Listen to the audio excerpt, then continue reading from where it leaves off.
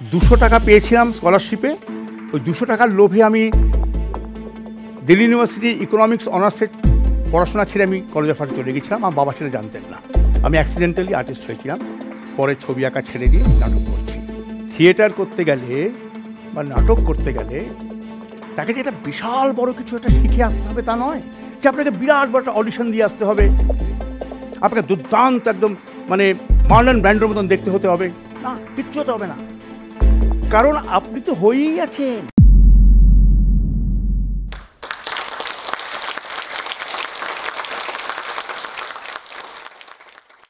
ছোটবেলায় আমাকে বলা হতো আমি ভ্যাবলা।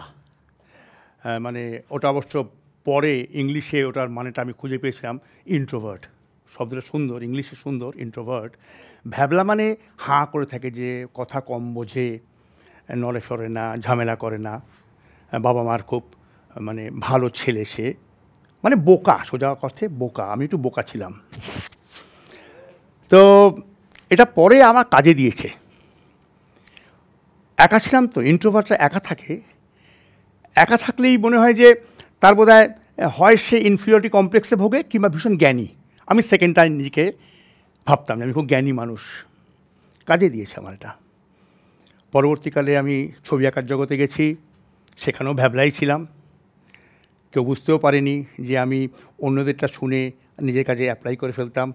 অনেক চালাকরা আগেই বলে দিত, আমি সেটা শুনতাম, শুনে কাজে লাগাতাম। নাটকেও তাই হয়েছে। গত চল্লিশ বছর ধরে নাটক করছি, সাতচল্লিশটা নাটক লিখেছি। সব স্টেজ হয়েছে। আমি বোধহয় পৃথিবীর একমাত্র যার সব নাটক স্টেজ হয়েছে, বেশিরভাগই খারাপ, কিন্তু স্টেজ হয়েছে সব। আমি তরিত মিত্র দিল্লিতে জন্মেছি নাইনটিন ফিফটি সিক্স আজীবন দিল্লিতেই কাটিয়েছি।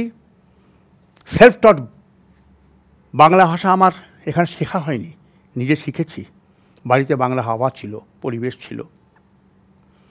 সেখান থেকে দীর্ঘ চল্লিশটি বছর আমি নাটক করেছি, ছবি এঁকেছি, আমি ন্যাশনাল অ্যাওয়ার্ড পেয়েছি স্কলারশিপ পেয়েছি টপার ছিলাম।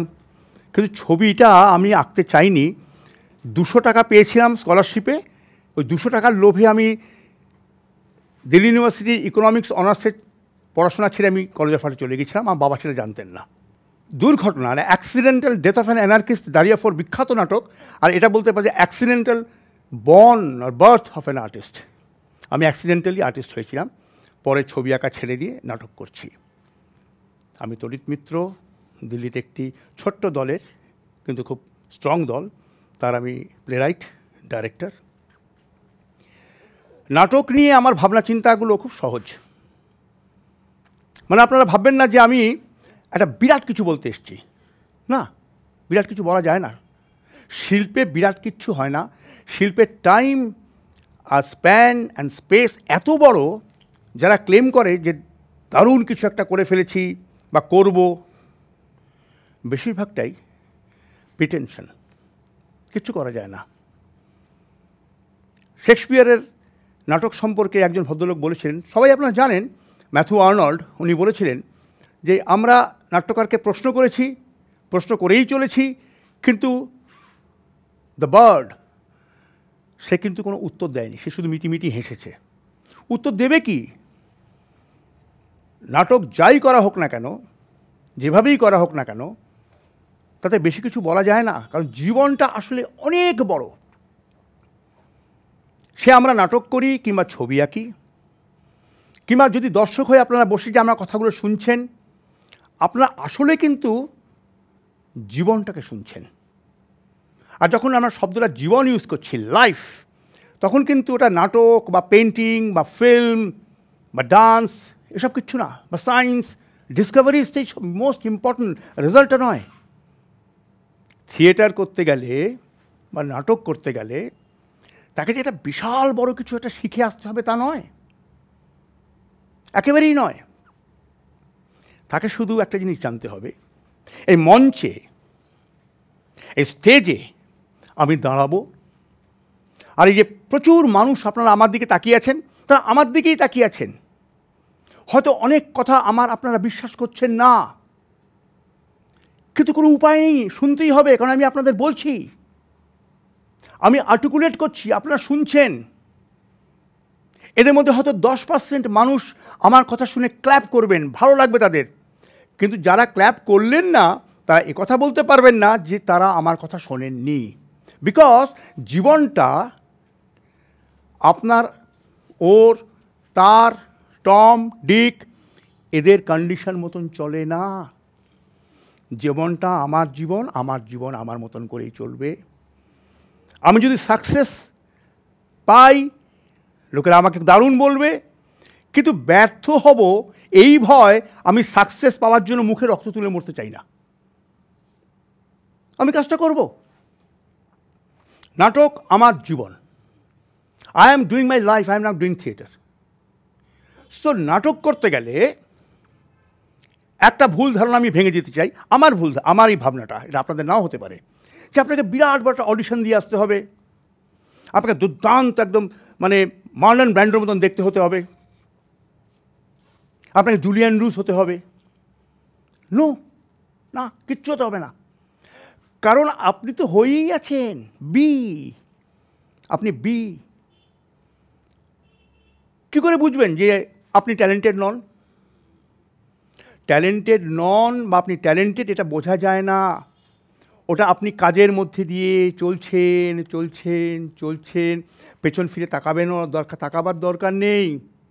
চলতে থাকুন, কাজগুলো হতে থাকবে, সিঁড়িগুলো ভাঙতে থাকবেন, আস্তে আস্তে আস্তে আস্তে আস্তে আপনি উঠে যাবেন ওপরে।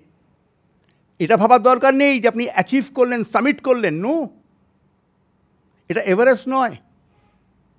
চোদ্দ হাজার ফিট থেকে একটা পাহাড়ে উঠেছিলেন, তারপরে কুড়ি হাজার তারপরে উনত্রিশ হাজারে চলে গেলেন। আপনি বেস্ট মাউন্টেনিয়ার না এটা বেস্ট নেই।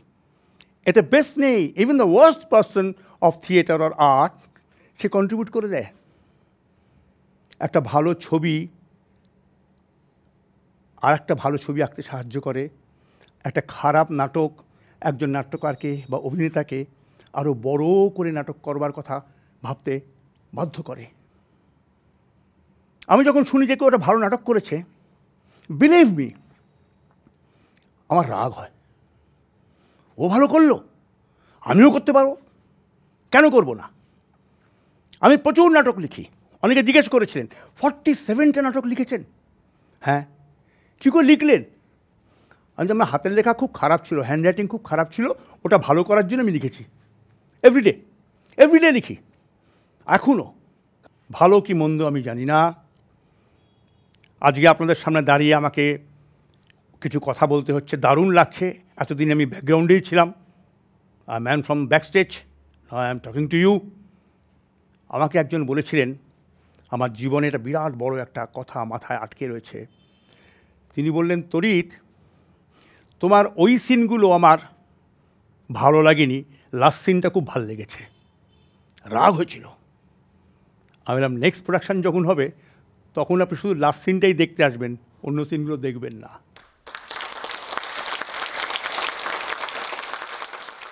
এই ভিডিও সম্পর্কিত আপনার মন্তব্য কমেন্ট সেকশনে জানান। আর ভিডিওটি বন্ধুবান্ধবদের সাথে শেয়ার করতে ভুলবেন না কিন্তু।